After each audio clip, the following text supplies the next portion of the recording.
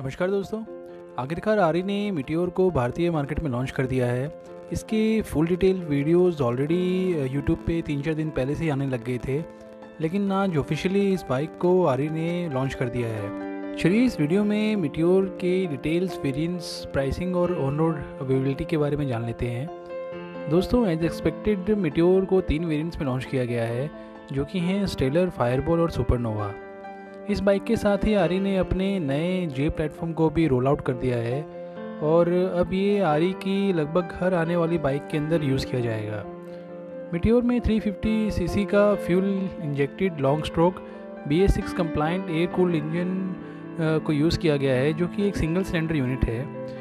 ये engine 20.4 PS की power generate करता है 27 न्यूटन मीटर टॉर्क के साथ। फ्यूल एफिशिएंसी की बात की जाए तो ये 350 सीसी का इंजन अड़तीस के एम की माइलेज जनरेट करता है एज़ पर आर फिगर वैसे दोस्तों, इसमें अब भी फाइव स्पीड गियर बॉक्स ही मिलता है। एक और चीज़ दोस्तों थंडरबर्ड में जहाँ 20 लीटर वाला फ्यूल टैंक मिलता था, इसके अंदर हारी ने घटाकर 15 लीटर का फ्यूल टैंक दिया है।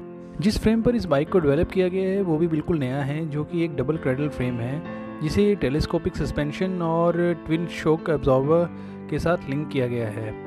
वैसे अपसाइड डाउन फोक्स की उम्मीद की जा रही थी एटलीस्ट टॉप वेरिएंट में तो लेकिन वो फ़िलहाल उपलब्ध नहीं कराए गए हैं। ब्रेकिंग डिपार्टमेंट में दोस्तों फ्रंट में लार्ज 300 हंड्रेड mm की डिस्क और रियर में 270 सेवेंटी mm की डिस्क को यूज़ किया गया है। इसमें अच्छी बात यह है कि इस बाइक में अब dual channel A B S as a standard feature offer किया जा रहा है, जो कि कंपटीशन को देखते हुए एक बेहतरीन फीचर है। इस बाइक में, फ्रंट में 19 इंच के 100 बाई 90 कॉस सेक्शन के टायर को यूज़ किया गया है और रियर में 17 इंच के 190 बाई 70 कॉस सेक्शन वाले टायर्स को यूज़ किया गया है। दोस्तों, मैकेनिकल्स को छोड़ते हैं और बात कर लेते हैं इस गाड़ी में मिलने वाले फीचर्स की। तो इसमें एक सेमी डिजिटल कंसोल ऑफ़र किया गया है विद स्मार्टफ़ोन कनेक्टिविटी इस सेमी डिजिटल कंसोल में turn by turn navigation with Google integration का ऑप्शन भी दिया गया है। यही नहीं, इसके अंदर डे और नाइट दोनों मोड को इनेबल भी किया गया है।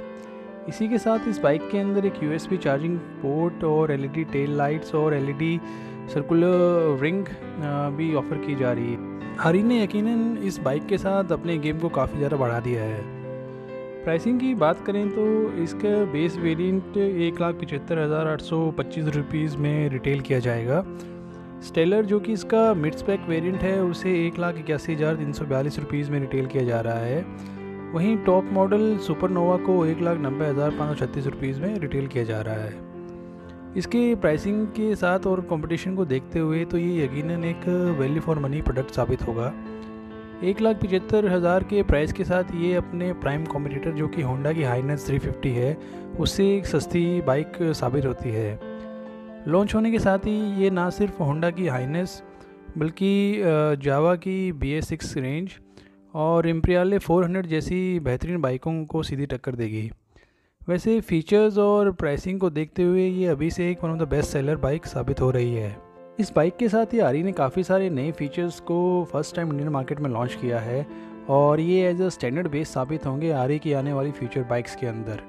जैसे कि ट्रिपर मीटर जो इस बाइक के अंदर यूज़ किया गया है, इसी को अब इंटरसेप्टर रेंज के अंदर भी धीरे धीरे यूज़ किया जाएगा।